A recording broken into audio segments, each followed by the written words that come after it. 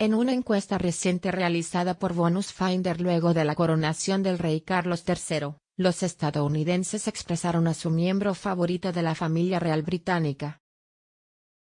Sorprendentemente, no es otro que el duque de Sussex, el príncipe Harry, quien ha emergido como el realeza más popular al otro lado del charco, capturando los corazones del 33.8% de los encuestados. De los 36 estados individuales encuestados, el príncipe Harry fue la mejor opción en la mayoría de ellos, consolidando su posición como el realeza favorito de Estados Unidos.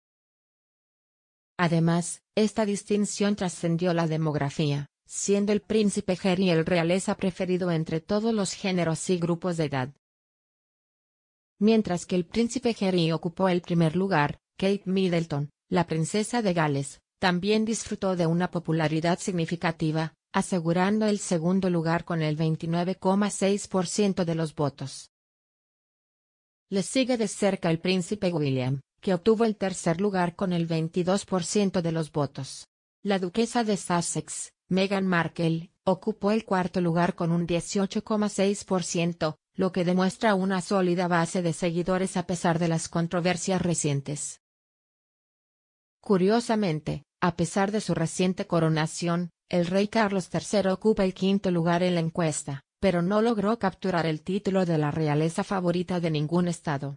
La reina Camila, por otro lado, ocupa la séptima posición, mientras que la princesa Ana ocupa el sexto lugar. Estos resultados destacan la fascinación y la conexión constantes que los estadounidenses sienten hacia la familia real británica popularidad del príncipe Harry en los Estados Unidos muestra su capacidad para cautivar al público más allá de su estatus real, y enfatiza el impacto significativo que él y su esposa, Meghan Markle, han tenido desde que se mudaron a los Estados Unidos. A medida que el duque y la duquesa de Sussex continúan forjando su camino fuera del marco real tradicional, parece que su influencia y atractivo siguen siendo fuertes, asegurando en lugar del príncipe Harry como la figura real amada de Estados Unidos.